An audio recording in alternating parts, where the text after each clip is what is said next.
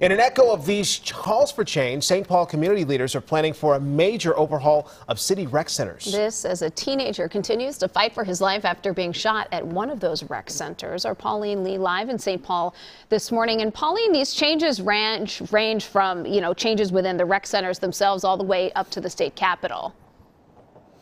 Yeah, that's right. Tomorrow will actually mark one week since that shooting at the Jimmy Lee Rec Center. That center has been closed ever since, and it will stay closed as city leaders work to review its safety plans. You remember last week, Mayor Melvin Carter mentioned that state law prohibits cities from banning guns in public recreation centers and libraries. So now he and Ramsey County leaders, they're working on a bill to change that.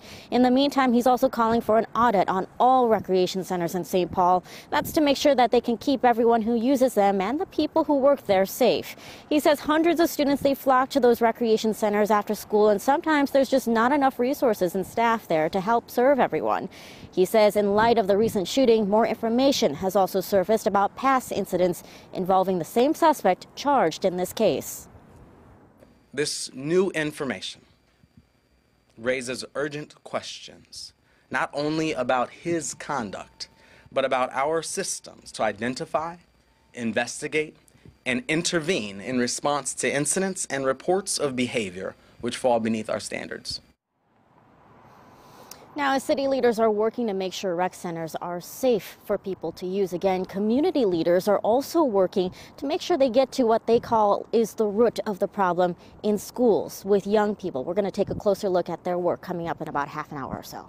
All right, sounds good. Pauline, thank you. So, nearly a week after a shooting at the Jimmy Lee Rec Center in St. Paul left a teenager fighting for his life, community leaders are coming together to help end violence among young people. Our Pauline Lee is live in St. Paul with a closer look at what they believe to be the root of the problem. Pauline.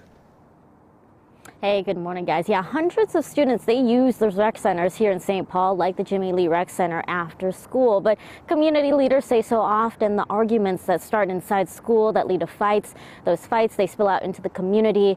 And unfortunately, sometimes they have deadly consequences. So there's two groups really working to change that. We're talking about Truce Mediators, Truce Center Mediators, and 21 Days of Peace.